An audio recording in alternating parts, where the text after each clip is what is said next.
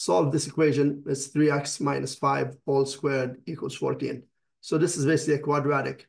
To be able to do this, so I'm just going to rewrite this here again.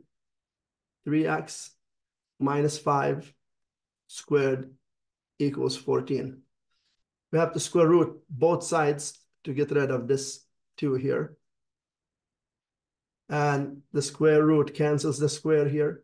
So I end up with 3x minus 5 equals, when you square root this number, you should write plus or minus square root of 14. Now let's move the negative 5 to the other side. When we move the negative 5 to the other side, it becomes positive 5 plus or minus square root of 14. And then we divide everything by 3.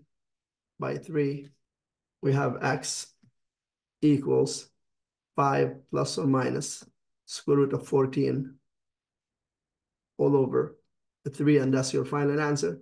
If you want this answer in decimal, you just go 5 plus square root of 14 equals, and then divide it by 3, and then you go 5 minus square root of 14 equals, and divide by 3, it gives you the two answers in decimals.